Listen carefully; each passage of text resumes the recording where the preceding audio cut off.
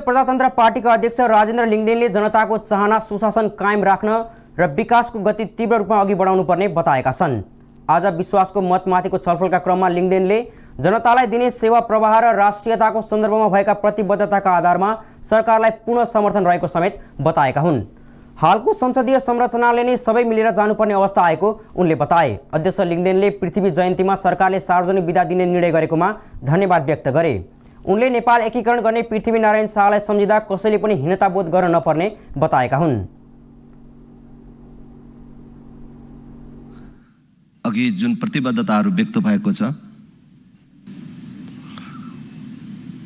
त्यो प्रतिबद्धताले सफलता प्राप्त गर्नेछ र त्यसमा हाम्रो पनि साथ र सहयोग रहनेछ। हामीले लामो समयदेखि एउटा सुशासनको अपेक्षा गरिराखेका थियौँ विकासले गति पक्रोस्। जनताले सामान्य सेवा लिनको लागि पनि पृथ्वीनारायण शाहप्रति गौरव बोध गर्दा पछाडि फर्किएको अनुभव गर्न नहुने उनको भनाइ छ।